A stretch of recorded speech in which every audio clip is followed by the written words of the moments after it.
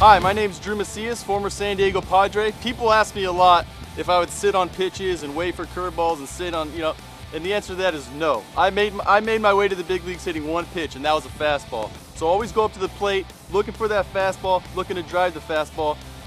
Off-speed pitches are purpose pitches. They want you to look like a fool. They're, they're trying to fool you. They're trying to mess up your timing. So let's just sit back, wait, and drive that fastball.